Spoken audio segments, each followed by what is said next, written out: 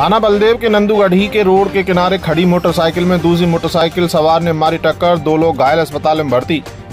होली खेलने के बाद नंदूगढ़ी निवासी रमाकांत पुत्र राजकुमार अपने दूसरे साथी के साथ अपने गाँव से मथुरा आ रहा था कि तभी नंदूगढ़ी चौराहे के समीप रोड पर किनारे मोटरसाइकिल खड़ी थी और मथुरा की तरफ़ से आ रहे तेज रफ्तार मोटरसाइकिल सवार ने जोरदार टक्कर मार दी, जिसमें मोटरसाइकिल पर बैठे दोनों लोग गंभीर रूप से घायल हो गए। स्थानीय पुलिस को सूचना दी। सूचना पर पहुँची इलाका पुलिस ने दोनों घायलों को मथुरा के जिला अस्पताल में भर्ती कराया।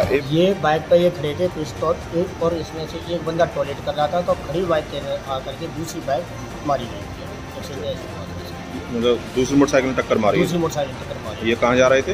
ये आ रहे थे मथुरा आ रहे थे। दो लोग थे मोटरसाइकिल पर? दो थे। और मथुरा साइड से जो बंदा जा रहे थे दो बंदे वो उन्होंने एकदम से बाइक में ठोक दिया यहाँ एंबुलेंस से लेकर आए? यहाँ पर एंबुलेंस लेकर गए